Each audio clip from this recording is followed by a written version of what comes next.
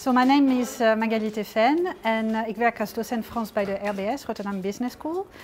Ja, mijn naam is Linda van der Bergt. Ik ben docent Duits aan de RBS, Rotterdam Business School, uh, International Business. samen met mijn collega's van Frans en Spaans hebben wij hier een workshop over H5P gegeven. En H5P is een softwareplatform. En waarom wilden we hier zijn? Omdat we willen heel graag onze ervaring delen, want ehm, het is een nieuwe tool, H5P, en je kan heel veel uh, uh, activiteit hiermee creëren.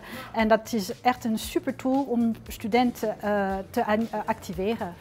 ja, daadwerkelijk heeft het opgeleverd dat de lessen veel interactiever en daardoor ook veel leuker waren. De studenten lieten ook echt merken dat ze betrokkener waren en nou, uiteindelijk was dat, ja, was dat de uitkomst.